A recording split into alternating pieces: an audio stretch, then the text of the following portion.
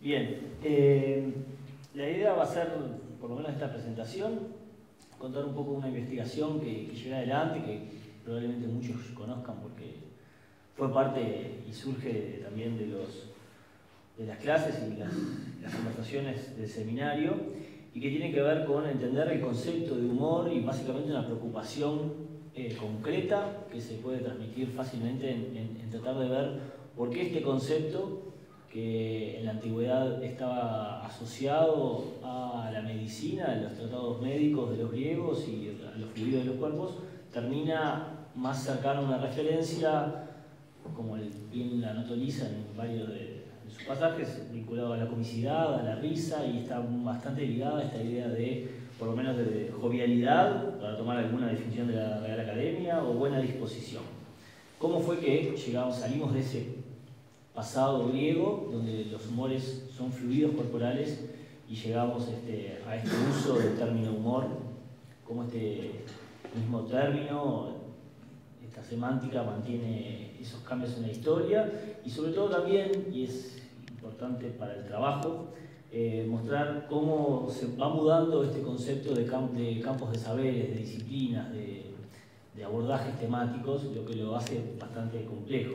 No tengo mucho tiempo como para reconstruir todo esto, es decir, no, me refiero al tiempo que dan acá, sino más bien a la vida misma, porque hacer una historia del humor sería algo enorme. Así que simplemente me gustaría presentarlo a partir de tres fotografías que creo que ejemplifican tres momentos históricos, donde podemos ver los cambios de, de humor y después quizás fijarnos en una reflexión final bastante concreta. La primera imagen que tenemos acá enfrente es Eratóstenes, eh, en su mitología del firmamento, nos informa sobre la constelación Ofiuco, una constelación que se formaría por la catasterización por parte de Zeus de Asclepio, Esculapio para los romanos, es decir, el dios de la medicina. Una catasterización es el procedimiento mediante el cual los dioses griegos transformaban a los humanos en estrellas o constelaciones celestes. Y que fueran de las primeras fuentes de interés para el estudio de los ciegos para los griegos. Entonces nos dice Eratóstenes de, este, de esta constelación. Se encuentra eh, de pie encima de Escorpión y sus manos sujetan una serpiente. Se dice que lo elevó al cielo al dios Asclepio, a quien el propio Zeus hizo subir también al firmamento en agradecimiento a Apolo. Asclepio practicaba la medicina con tal habilidad que resucitaba incluso a los muertos, y el último caso conocido es el de Hipólito, el hijo de Teseo. Mas los dioses soportaban esto con notable disgusto ante el temor de que sus propios designios pudiesen quedar sin efecto por causa de la habilidad de Asclepio. A partir de esta imagen me parece interesante introducir al menos algunos elementos que, caracterizan los humores para los griegos.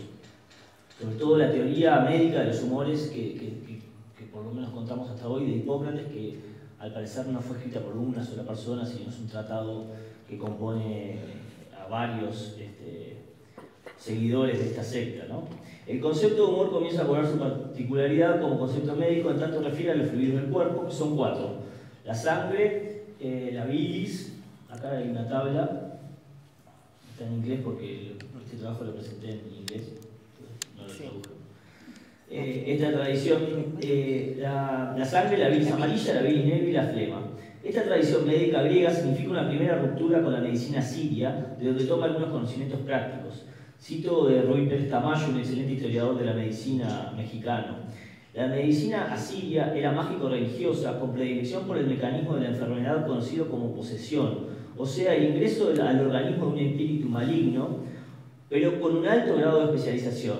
Por ejemplo, si había un dolor en el cuello, el responsable era el espíritu maligno de Adad. Si el pecho era el afectado, se trataba de Ishtar. Si eran regiones temporales, le correspondía a Lu, uno de los espíritus conocidos genéricamente como Utuku, que era particularmente agresivo. El cambio propiciado por el pensamiento griego respecto a este tipo de medicina, donde los humores, donde los humores ocupan su lugar central, implica asumir a las enfermedades en un marco cósmico más amplio. Cualquier, enfermedad comienza a ser entendida como el proceso de intromisión de un agente externo a un cuerpo inicialmente equilibrado, equilibrado con el entorno, los alimentos, los aires. El acto de catasterización no solo se puede ver como una metamorfosis fantástica, sino como la continuidad simpática entre los cielos y el mundo de la vida humana. Si las etapas prehelénicas basan sus métodos en formas de la extirpación de males, con exorcismos, purificaciones, sacrificios, penitencias, a partir del uso de plantas, lodos, ungüentos o vendajes, la medicina griega entenderá la enfermedad como una forma de descompensación originada por factores que no únicamente atañen a los dioses, sino, sobre todo, a la práctica de vida del griego. Hábitos, costumbres, alimentación, dieta, lugares, todo formará parte de una nueva medicina griega y será motivo de reflexión de los médicos. Las figuras de la serpiente retomada por Eratóstenes, que se mantienen en los blasones médicos hasta la actualidad, simbolizan otra nueva mirada sobre la medicina. Si recordamos, creo que también este texto lo trabajamos en clase, el, texto de Derrida sobre la idea de fármaco, un veneno que también puede ser remedio, y sobre esta ambigüedad aparentemente contradictoria, las figuras de la serpiente son parte de una nueva perspectiva donde las enfermedades forman parte de un ambiente más amplio. Cito de Hipócrates. El que quiere investigar correctamente sobre medicina debe hacer lo siguiente. Primero, estudiar detenidamente las estaciones del año, su influjo respectivo y en qué difieren entre sí, y en sí mismas y en sus variaciones. En segundo lugar, la importancia de los vientos cálidos o fríos, principalmente los comunes a todo el mundo, y luego los peculiares de una región determinada. Y es igualmente preciso el conocimiento de las aguas y sus propiedades, que son bien diferentes como los de su sabor y su peso. El tratado sobre los humores presenta una interesante doble condición. Es un tratado bastante complejo de analizar. Eh, resultó muy enigmático para las épocas posteriores, y sobre todo para Galeno, de quien vamos a hablar un poco más adelante.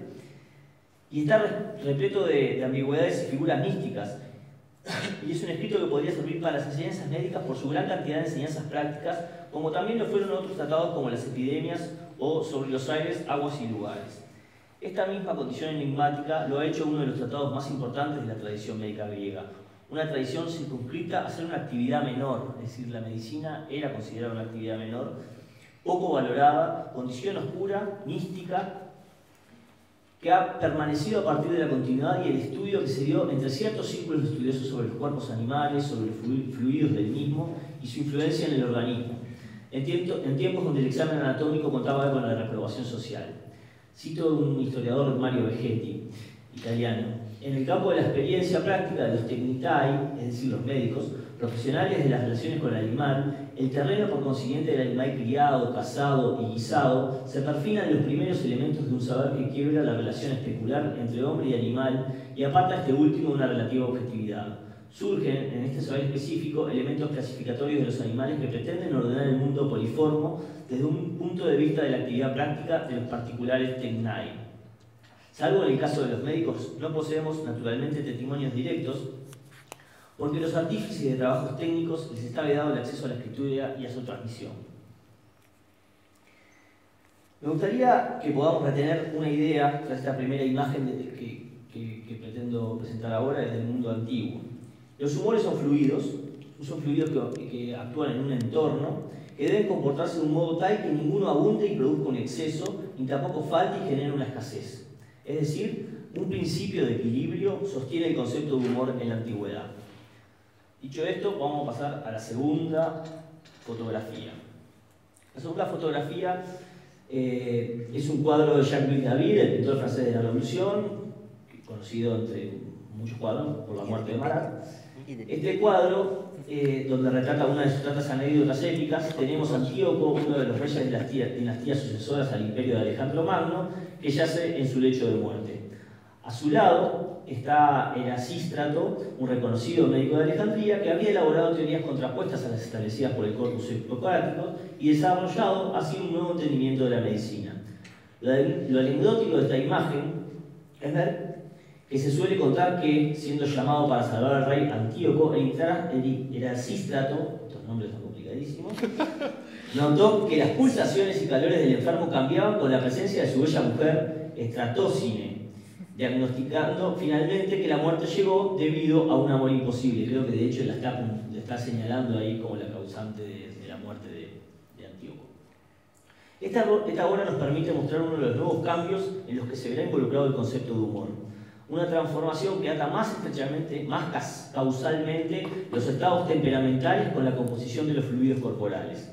La creciente preocupación por la naturaleza humana en el pensamiento occidental permitió a ciertos pensadores vincular la vieja teoría médica de los aspectos definidos de formas temperamentales en los, individuos. Si de cierta forma es posible encontrar determinadas características propiamente humanas, estas deben ser producto de un estado fisiológico determinado gobernado por los fluidos corporales.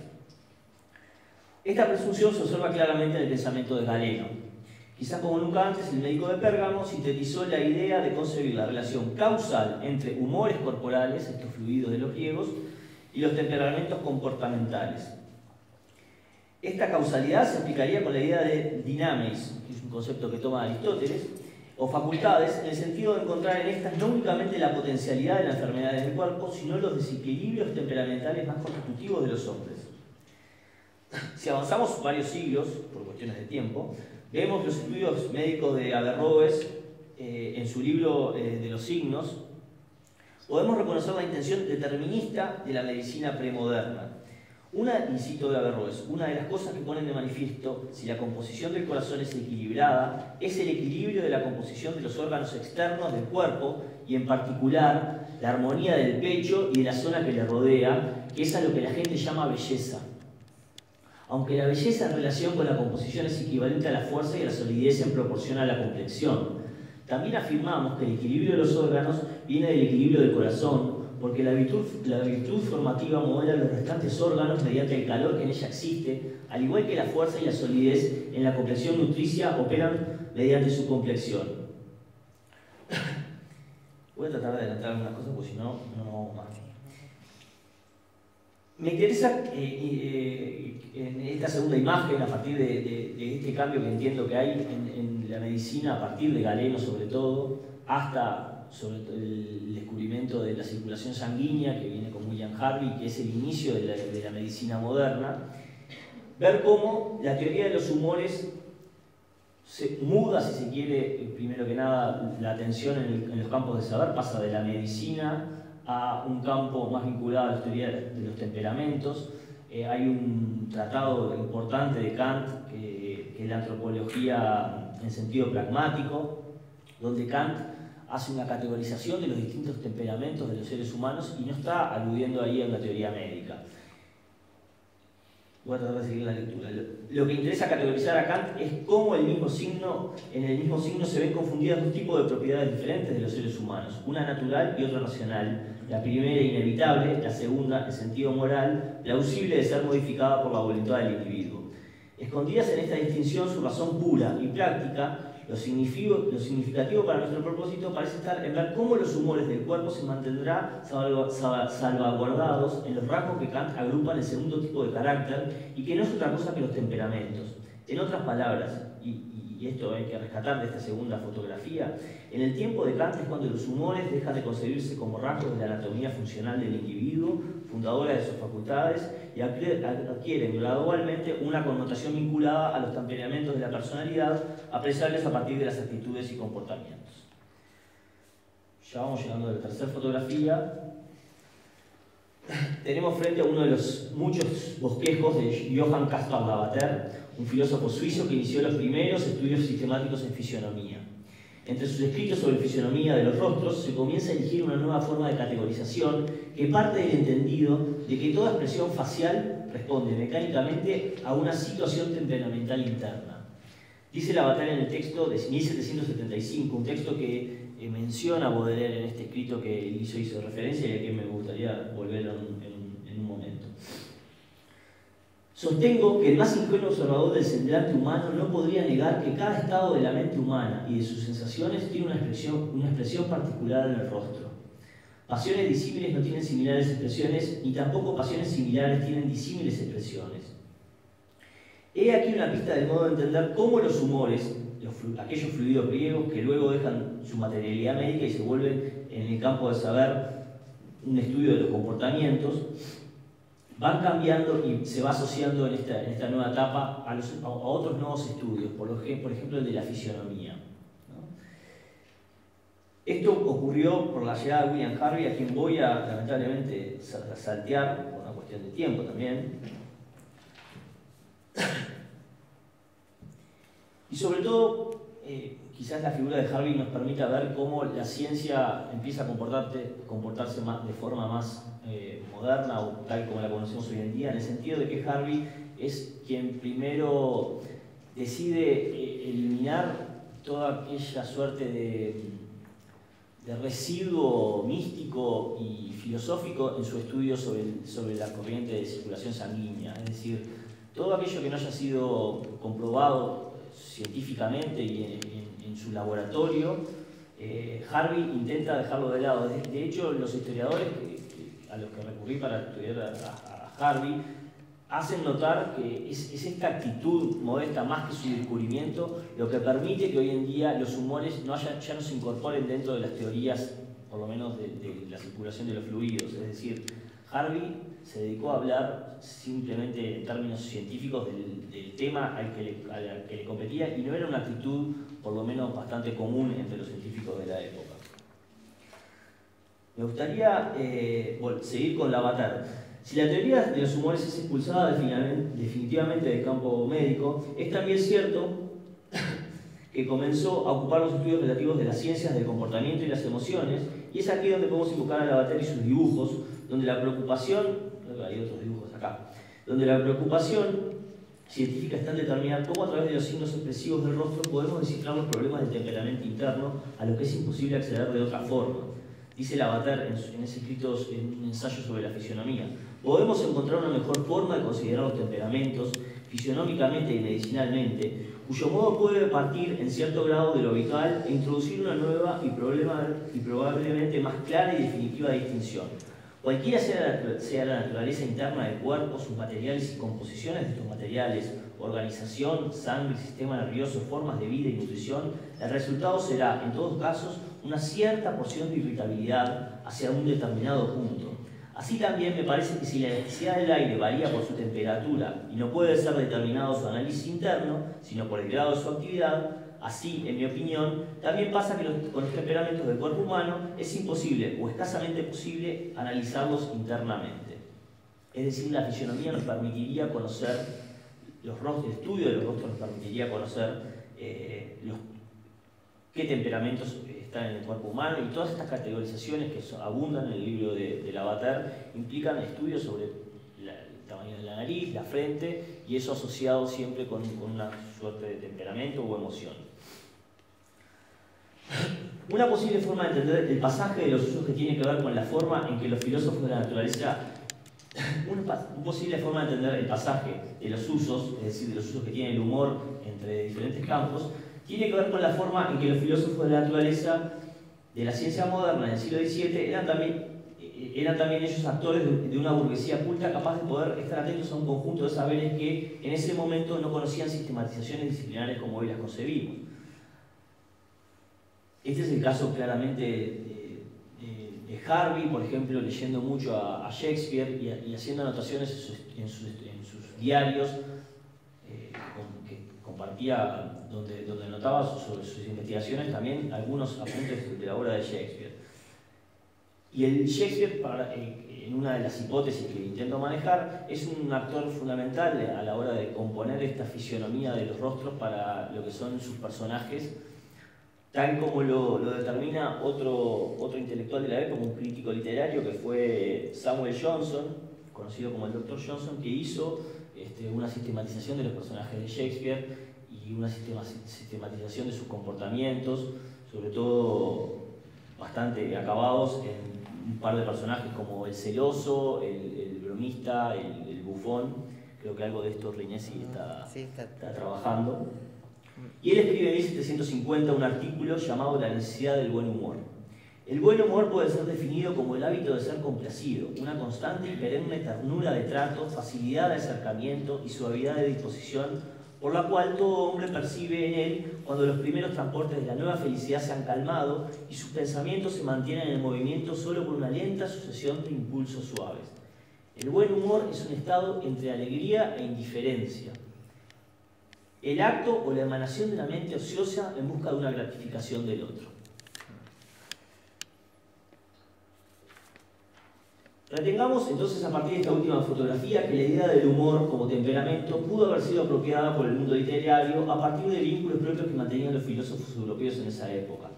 Claves para esto y para seguir trabajando pueden encontrarse en estudios psicológicos del entendimiento, los de la fisionomía, como vimos ahora, el teatro y los escritos la escritura es del ironismo practicado por varios miembros del romanticismo alemán. Es decir, hay un ambiente y una cultura europea que, donde básicamente la cuestión del humor parece florecer de, diferentes formas y parece salirse definitivamente del ámbito de la medicina. Una reflexión final, tengo una página así que no, no tiembles demasiado, tenemos una transición nunca del todo clara y completa, pero sí observable a, partir de lecturas e historias que nos llevan de una idea de humor como un fluido hasta el mismo término asociado con la jovialidad. He intentado, espero con algo de éxito, mostrar algunas rutas explicativas que permiten ver esa transformación. Me gustaría para la reflexión final detenerme en lo no inmutable en lo que no ha cambiado en el concepto de humor, en los presupuestos que, pese a los usos diferentes y los campos de conocimientos cambiantes, se han mantenido, entiendo yo, firme en esta idea del concepto de humor. Esto tiene que ver con una idea simple. El humor se establece siempre en un marco normativo de saberes, actitudes, conocimientos, valores. ¿Qué quiere decir esto? Se ha entendido como un fluido o como un temperamento, sea entendido como un fluido o como un temperamento como un signo de comicidad, el humor siempre ha estado inscrito en un sistema donde el equilibrio, el balance, lo justo, lo bello, le remiten la medida de acción. Dicho de otras palabras, el humor ha sido y es una forma y es una forma aberrante contra lo normal, como norma, contra lo aceptado. Humberto Eco intuyó esta idea cuando analizó en 1968 lo cómico y la regla, es decir, el valor que adquiere el humor con relación a una noción de normalidad con las reglas de conducta a, partir del caso de Rebelé, que él analiza. Esta quizás sea una clave para analizar el concepto de humor en nuestro tiempo, el que se presenta en el arte, en los medios de comunicación, en las redes sociales, e indagar cuál es la idea de normalidad que parece querer subvertir o violar el humor. En momentos donde parece que nada puede asombrarnos, ¿Cuáles son las formas de humor que realmente subvierten? ¿Cuáles realmente escapan al sistema de entretenimiento que parece absorberlo todo indiscriminadamente? O incluso invirtiendo el interrogante. ¿Tenemos una clara idea de lo que es lo normal en nuestro tiempo? ¿Será que las dificultades de los límites del humor tengan que ver con las dificultades de los parámetros de lo normal? Solo, solo algunas preguntas un poco serias además. Muchas gracias.